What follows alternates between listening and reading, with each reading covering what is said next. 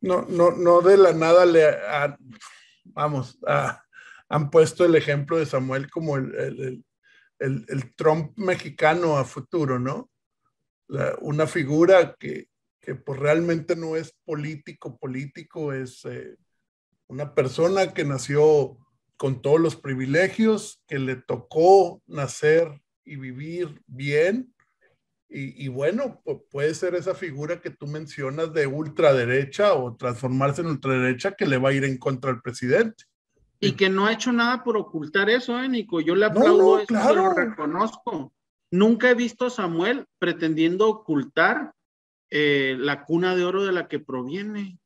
No, y creo que es parte de, creo que es, es, parte de lo que encanta en la gente de, de, todos los sectores, sin dejar a un lado que también, eh, pues la oposición que tuvo, o la fuerte oposición, que era Morena la principal, pues bueno, actuó pésimamente, ¿no? Independientemente de lo de Nexium, cuando va y lo demanda porque este, cuando va y demanda a esta persona al que estaba haciendo la parodia, al comediante Marco Polo, de que se burlaron de ella y, y, y ¿qué decía Samuel? Nombre, pues a mí me ayuda. Oye, pero se están burlando de ti y todo eso. Dice, pues no importa, todos somos libres de hacer comedia y decir lo que quiera, eso es comedia. Este, si a alguien le afecta, que lo tome como quiera, a mí no me afecta.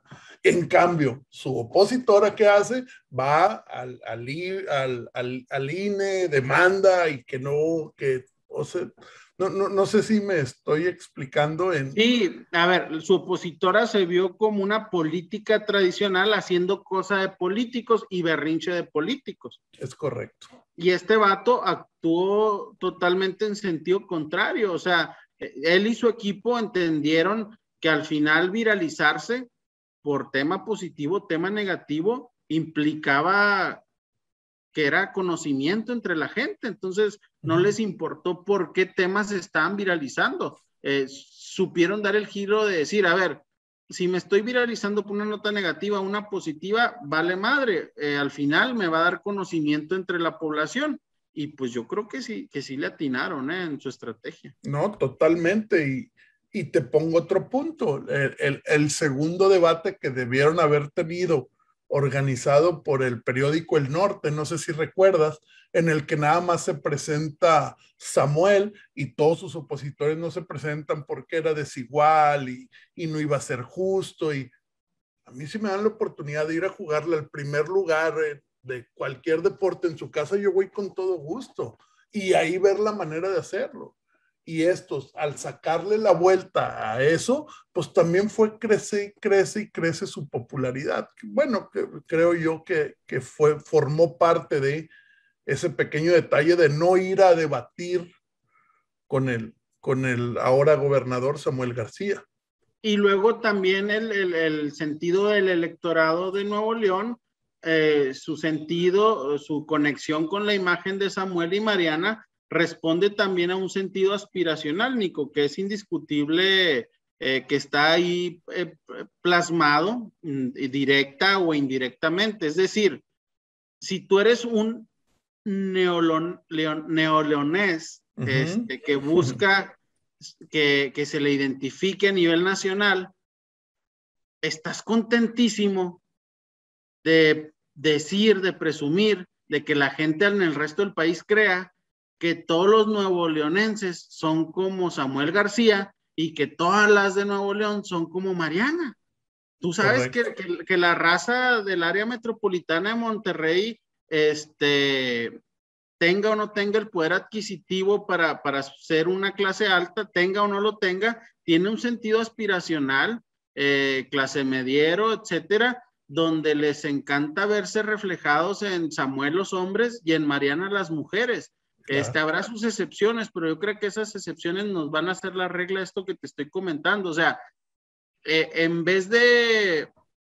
Se sienten orgullosos porque ellos piensan que el resto del país piensan que todos los hombres de Nuevo León son como Samuel y que todas las mujeres de Nuevo León son como Mariana. Y un hombre y una mujer de Nuevo León estándar, pues se siente padre porque dice, no, pues me ven así guapo, güero, fresa, poder. Hay un sentido aspiracional ahí. Y, claro. y al final conecta y, rinde frutos electorales también eso. Sí, sí, claro, y bueno, es que ahí están los resultados, ¿no? Sí, Dijo, realmente lo que pasó fue, fue, fue muy bueno. Y, y, vuelvo a retomar lo que ya habían mencionado. Eh, al principio había pleito entre él y Colosio por ver, pues los dos querían ser gobernadores y bueno, Samuel entre, entre sus acuerdos, pues convenció a Colosio de, de él ser la, la elección y creo que no, no se equivocó. Yo veo un error eh, en Samuel y ojalá pueda corregir a, tiempo. ¿A qué me refiero, Nico? Veo el error de que puede que quedar en medio de, de nada y mal con todo. O sea, ¿qué voy? Lo veo queriendo negociar al estilo antiguo con el gobierno federal. La vieja receta, Nico con el presidente no te pelees, este, ten canales de comunicación, en qué le puedo servir, etcétera. Y por otro lado, aquí con la raza de Nuevo León, eh, vendes un anticentralismo, pero como los líderes de la oposición nacional y los empresarios te ven que te entiendes bien con el presidente de la República, pues no confían en ti totalmente. Entonces, en decisiones y en momentos trascendentales donde hay que impulsar un proyecto nacional, o sea, si Samuel busca catapultarse a la presidencia de la República, tiene que definir, porque la, política hoy es de definiciones. Acuérdate, el que es amigo de todos, al final no es amigo de nadie. Entonces, yo veo ese riesgo en Samuel, que, que escucha a los asesores que le dicen que tenga puentes tendidos en la federación sí, sí es bueno eso, pero estamos frente a un presidente de la República hábil, experimentado, conocedor, que si ve un claro, lo va a envolver y, lo va a limitar, no lo va a dejar que crezca. Andrés Manuel López Obrador tiene algo, es celosísimo de una figura que pueda ser más grande que él. En cambio, la oposición, el conservadurismo, los empresarios, ahorita están ávidos de tener una figura que los pueda representar. Su mayor carencia es que no tienen una figura sólida, Nico, en la que puedan construir una candidatura para el 2024 y ni se diga para años eh, posteriores. Entonces, Samuel tendrá que definir en estos meses, yo digo que más tardar entrando el año, qué papel va a querer jugar. Si va a querer estar bien con un discurso anticentralista ante sus gobernados, pero en los hechos le haga guiños de manera nacional al presidente de la República, te vas a acordar de mí que las dirigencias del PAN, del PRI, los empresarios, del PRD, etcétera, pues no van a confiar en él y, al final sabemos que ni los de Morena van a terminar confiando totalmente en Samuel como para adoptarlo para su siguiente proyecto y puede quedar en el limbo. Yo ese es el riesgo que veo en Samuel tendrá que definir él y su equipo de aquí enero, a enero qué papel quieren jugar.